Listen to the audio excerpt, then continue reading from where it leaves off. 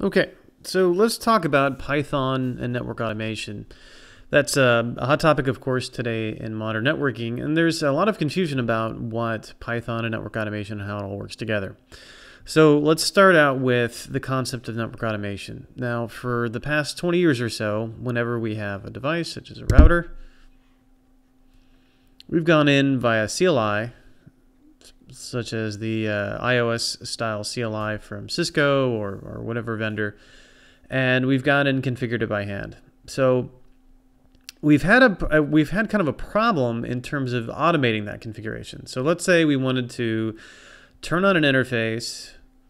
So it requires a no shut command. If we want to give it an IP address, IP address, at 10, 1, 1, 1, 255, 255. So this is standard IOS. Um, a few other attributes or whatever, and we'd go in and, and type it in by hand. But what if we wanted to automate that? What if we wanted to kick off an automated process and do this? Well, there were two kind of primary methods of doing this. One was it was supposed to be SNMP we were supposed to be able to use SNMP as sort of a universal protocol to configure devices. Now, for the most part, SNMP gets only used for two things. One, for monitoring by pulling stats such as interface statistics, uh, and two, for alerts. So if something goes on, the uh, the the router or switch or whatever can send an SNMP trap. But originally, what SNMP was designed for was more than that. It was designed to be able to for you to be able to, to provide some credentials make an SNMP call to a device and configure things like interfaces, and uh, it was meant to be an automation method. Most vendors um, do not implement uh, that kind of read-write control through SNMP anymore. Some vendors have at one point, but for the most part, read-write is not uh, not a viable option for configuration. The alternative that we had was something known generally as screen scraping. So that's where you write a script that pretends to be an interactive user, pretends to log into the CLI, waits for the login prompt, passes in the login information, waits for the password prompt, passes the password, um, waits for the shell prompt, types in commands, and basically pretends to be an interactive user. That has a couple of problems. One, um, depending on um, you, when you when you're giving commands, you're waiting for a response. You're giving commands, you're waiting for a response. If the code changes, perhaps we've got different responses or a scripts break. We don't have a real good way to verify that the changes we made were actually put in place. Um, just the back and forth CLI just wasn't meant to be um, to be automated. It's also very difficult to parse. So, for example, if you did a show run to verify, how are you going to determine which is the the IP address in a in a you know show run interface? Uh, well, okay, we got four octets. Well, if you've ever used something called regular expressions, you know that um, parsing can be quite difficult and it can be quite tricky. And if any little bit of behavior changes in the command line, which it can from version to version, you all of your scripts are broken. So it really wasn't a good way to do it, so we just haven't had much in, the, in terms of automation until recently. We've uh, most of the vendors, including Cisco, Arista, Juniper. Uh, Arista was, was quite early in it, but but the, all the other vendors were are, are implementing this is a REST-based API. So what is a REST-based API? Um, it fixes a lot of the problems that we had in SNMP. Um, one of the big problems with SNMP was security, um, and it still is. So even though we're using SNMP version 3 for a lot of places, and that does provide encryption, it provides um, a, a problematic encryption. Whereas a REST API uses just the HTTP protocol. So HTTP as a protocol is very well known. And then we use the TLS wrapper, colloquially known as the SSL library, but it's uh, really TLS, so that we can swap out ciphers and hashes. Ciphers being the uh, symmetric encryption, hashes being the asymmetric. In SNMP, the cipher and hashes are specified actually in the version 3, so that means um, that if the cipher, one of the ciphers or hashes uh, was deprecated, then we have to actually change the SNMP standard, which is exactly what happened. SNMP version 3 uses the SHA-1 family, of hashes, and that has been deprecated since I think 2012. So we um, most version most implementations of SNMP version 3 are using a weak hash. There is an RFC to fix it, but a lot of vendors haven't implemented that particular RFC yet. So, um, also a, another problem with SNMP was the OIDs and the MIB files. So if you ever take a look at a MIB file, um, you're in for um, what's the opposite of a treat? It's it's a maddening maze of of whatever. And an OID is something like it's an address uh, 1.3.1.9.1.3, something like that. And that gives you something like CPU uh, utilization. So you can pull things. You can also set things. So you can do a get, you can do a set. Um, finding out, translating an OID, which is what you need for automation or even just uh, monitoring, pulling that from a MIB file is very problematic. You, can't just read the MIB file. The MIB files are um, they're nested and they're not parsed, um, if that makes any sense. Uh, just take a look at a MIB file and you'll see what I mean. Nowhere in a MIB file will you see a full address. So you have to you have to follow, you have to collapse the MIB file. Basically, you have to load it into a MIB compiler in order to read the MIB file. And that just it just makes it it just, in my opinion, um, you know, who am I? But in my opinion, the MIB files um, were were really poorly designed. Um, it makes it very difficult to find that information. So back to S back to REST API. So REST APIs uses HTTP. HTTP is um, is a protocol we've been using for since the 90s, and it's very good at doing uh, a couple of simple things, um, and that's CRUD. So CRUD is create read, update, and delete. So if you think about it, whenever we're doing configurations on a device, we're either creating a new configuration, we're reading a configuration that we just did, we're updating an existing configuration, or we're deleting a, a, an existing configuration. So REST APIs, which are a subset of SOAP, Service-Oriented uh, Architecture Protocol, um, sits on top of a network device, or any type of device really, but in networking we're, we sit on top of a router, and it acts like a receiver, uh, just like SNMP does, and is waiting for commands. So you give it credentials, and that's then again through HTTP through a number of methods, and you can issue it commands. And one of the great things about the REST API is that when you issue a command, you're going to get a response. And that response is going to be something like 200 OK. So if you know that from HTTP, 200 OK might indicate that the change that we made was been has been implemented. We might get a 400 error. 404 means the object that we've been trying to configure is not found.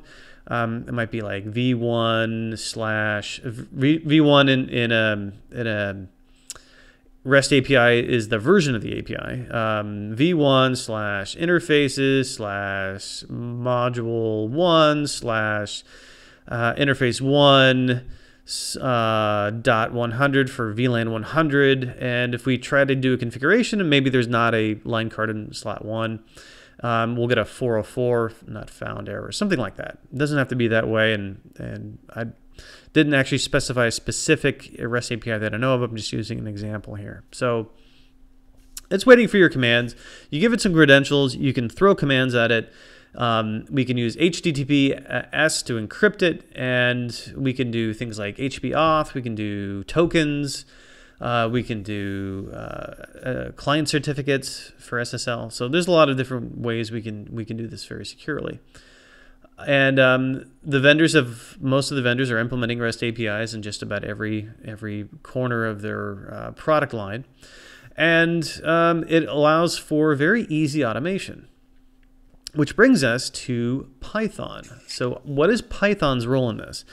So, Python is known as a scripting language, um, and it runs the Python interpreter. So, um, it's different than programming with like C programming. C programming is fairly low level. It involves managing memory and pointers and so forth. Python doesn't do any of that. Also, static typing we have um, in C. For example, if in C, I, we have to do integer I. So now I can only be an integer, like 1. I cannot be hello because we are statically typing the, the variable. Well, we don't have to worry about that in Python. So in one minute, I can be 1, and then the next minute we can we can change the variable i to be hello. And the interpreter doesn't complain. It takes care of all that for us. So what is Python? Python's a programming language, or scripting language, uh, to be more specific, but it's considered a programming language. It's similar to, it's on the same level roughly as, as Perl, as PHP, as uh, TCL, uh, Tcl. Um, uh, so it's it's very similar to those in, in, that it's an interpreted language, a scripting language. So, uh, we don't use a compiler; we use a, an interpreter. And why Python for network? Uh, another um, another common scripting language is Ruby. Um, so why Python? Why not Ruby or why not Perl or why not uh, whatever? And um, honestly, I, I, can give you a good answer. Um, in terms of network automation, you're not required to use Python. You can use whatever language you want. However, it just seems to be that the critical mass of vendors and developers and um, engineers who have written scripts and published them on public repositories such as GitHub have gravitated towards Python as sort of the de facto um, scripting language for, for network automation. To a lesser extent, another popular one is Golang, the Go language, and that is uh, a little bit more complex. The learning curve for that one's uh, a little bit higher than Python, but certainly not um, uh, not above any. If you're capable of being a network engineer, you're you're capable of of learning these languages. So Python, it's a scripting language, and in any kind of script, it's just as simple. We're giving a we're we've got a script and we're giving it a set of tasks. We're assigning, var assigning variables, we're calling functions, and it's just a set of tasks. Like task number one, log into switch. Task uh, number two is uh, configure a new VLAN. Task number three is assign IP address. So it's not it's not rocket science here. It's it's pretty just it's pretty easy. It's just a step by step instructions on what to do. And um, there's plenty of resources out there to learn Python. Um, so how does that relate to network automation and how does that relate to, uh, to APIs? Now, um, the login, configure, assign IP, all of that, that has to be, we have to craft API calls, a REST API call. So, or for example, um, configuring, uh, so login means we need to provide credentials. Uh, we could do HTTP auth. So that means the username and password for uh, a device is going to be in the actual HTTP header. Now, if you use HBS, then um, then we don't have to worry about uh, being snooped. Um, but uh, there's also other ways you can use a token, um, which is similar to uh, it's basically a cookie that is used for authorization, or we can use client certificate. But anyway, we have to figure some way to do the actual login.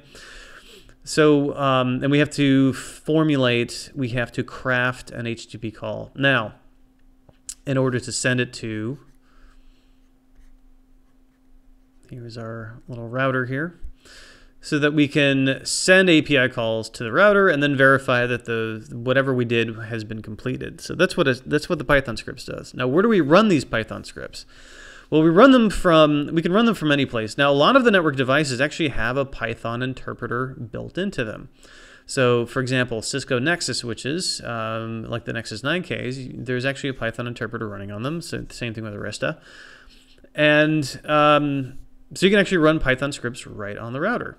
But for an automation perspective, we typically don't run those scripts directly on the routers and switches because we're going to, uh, this will be a switch. We're going to do it from a single unified place, for example, orchestration. So we're going to run it from perhaps a Linux box, maybe just a Linux VM that we have running. That's a centralized location where we put all of our, our, our Python um, automation scripts or, or whatever language that we're using. So the script is going to, we're going to have to craft a an HTTP message that we can send to these routers or switches or whatever. And in crafting the HTTP message, we've got uh, a header in any HTTP request, and then we've got a payload. The payload is going to have the information such as what VLAN, what IP address, what interface uh, options are we going to do auto negotiate? Are we going to um, use uh, auto negotiate the speed? Are we going to hard set the speed or whatever? And we can encapsulate that, we can encode that data, we can structure that data in a couple of different ways. The common ways are we can use um, uh, JSON, which, uh, or we can use XML. XML has been around for a little bit longer, I believe. Um, but JSON works just as well. JSON's a little bit easier to read, um, but you can certainly use XML. Um, doesn't really matter. Most REST API implementations will support both, um, so check with your vendor. And uh, we can encode it in there, and you know if it's XML, it might look like IP adder, and then 10.1.1.1, and then terminate the IP adder just you know examples. So that'll be in the in the payload. The header is going to be uh, part of the the GET request will be version one slash uh, module one for the first line card. Like I said before, interface one uh, slash 100 for VLAN 100 or it could be just slash one, and then we put the VLAN in the XML. It, again, it depends. All the vendors have specifications for their um, for their APIs and how to craft these these HTTP messages. And um, so we craft the message, and then we throw it at the at the device, and it'll will of course search and replace, and or not search and replace, but we'll use um, variables to fill in fill in things like IP addresses and VLANs and whatnot. So again, a Python script is just a set of tasks. Now, most of the time, we're actually not going to have to do that work right there and craft the payload because that work's already been done through us via libraries. So what is a library? In, um, in programming, a library is a collection of functions, a collection of things that we've, we've already um, done before. Someone's done the work, and so that way we don't have to, we don't have to actually make a um, we don't have to craft a, an HTTP message. We can just call a function. A function will look like something like this. So add underscore VLAN, maybe that's our function, and then we'll pass the function some variables such as um, module one will be the first variable we pass. The second variable will be v the VLAN ID, so VLAN 100. The third variable will be the subnet mask Hopefully you can read my writing here.